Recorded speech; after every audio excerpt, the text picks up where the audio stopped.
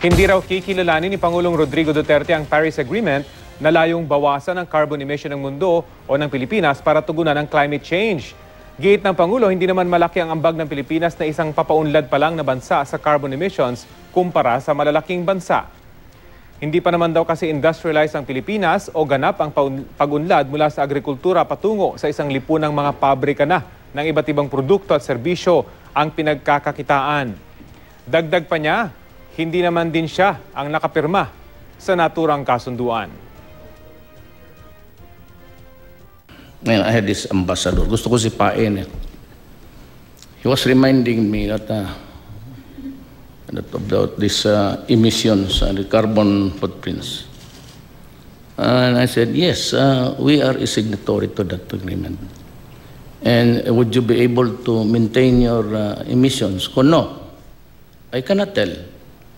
So, you will, because it will be distributed pro rata.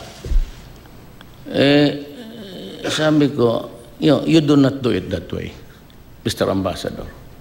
You who have reached your apex and along the way spewed a lot of contaminants and emissions and will ahead in destroying the climate. Good for you. We are here. We have not reached the age of industrialization.